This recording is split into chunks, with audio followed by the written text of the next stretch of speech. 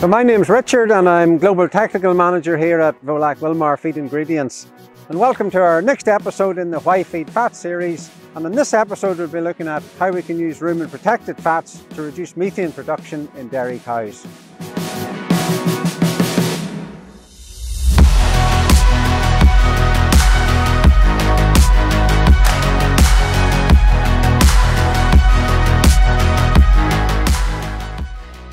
Methane is a really hot topic when we're looking at greenhouse gases on, on, dairy farms. So from both an environmental perspective and an animal nutrition perspective, it's really important that we look to how we can take mitigating measures to reduce methane production. So from an environmental perspective, we know that methane has a global warming potential of about 30 times higher than that of carbon dioxide. So a real negative effect on global warming. But from the dairy cow perspective, we know that around 68% of the energy consumed by the dairy cow will be lost as methane.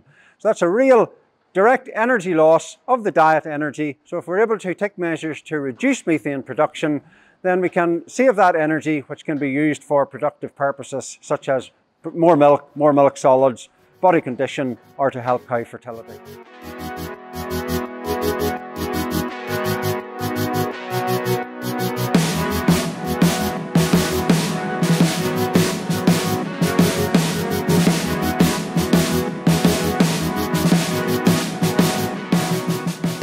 In the dairy cow, methane is primarily produced due to the fermentation of fibre in the rumen. So as we get more and more fibre in the ration, that will be fermented to acetate and butyrate, which will lead to an increases in methane production. So if we had lower fibre diets, then we would generate more propionate as the volatile fatty acid, which actually will reduce the, the proportion of methane produced. So we need to be really careful in terms of our balance of our fibre and starch in the ration. Higher fibre rations will generate more methane higher starch diets will generate less, but we need to be really careful then in terms of uh, in terms of the fibre balance and starch balance that we don't lead to issues of acidosis caused by high starch rations and similarly low milk fats because we've got high starch and low fat.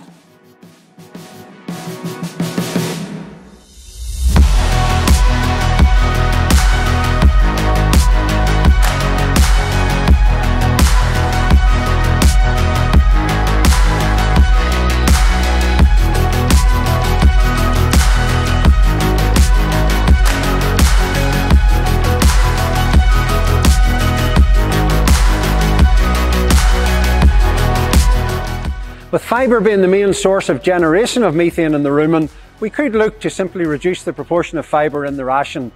However, we need to be really careful with reducing fibre in the ration as we could end up with having negative effects on productivity, in particular in terms of rumen health in relation to acidosis or the effect on low milk fat, for example. So really important as we try to tackle methane reduction, we don't do it in a negative way that will have a negative effect on other aspects of cow health or production. So we want to maintain fibre level to ensure we have rumen health and we ensure we, we are able to produce maximum levels of milk fat, but we don't want to exceed the level of starch in the ration where we will have a negative effect on rumen function, particularly the big risk of increasing risk of acidosis.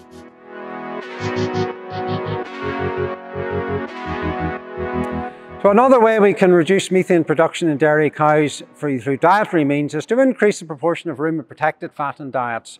So the key difference between rumen protected fats and other ingredients we will have in the diet is that rumen protected fats are not fermentable.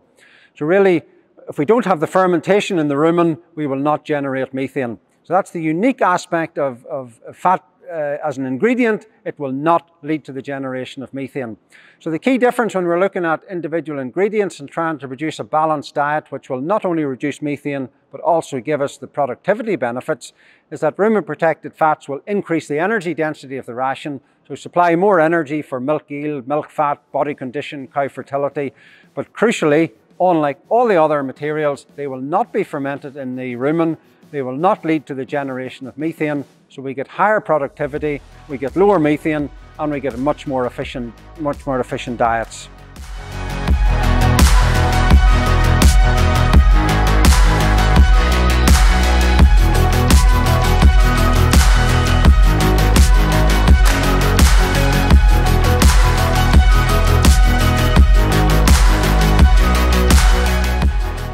Volac Wilmar have just completed a fairly extensive project over at Cornell University in the USA and in that study we looked at different types of rumen protected fats which was the Megalac, the calcium salt supplement and a high C16 high palmitic acid product.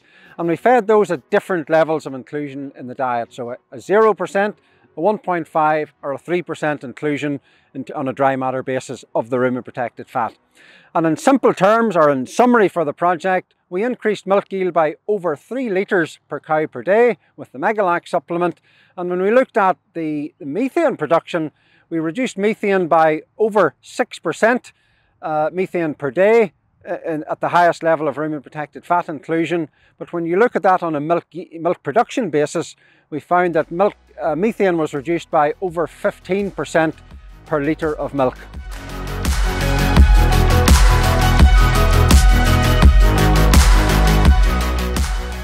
So that's it for this episode of our Why Feed Fat series, but please join in for the next episode where we'll be looking at how we can use the Volac Wilmar Fat Calculator to determine how much fat we should be feeding to our dairy cows.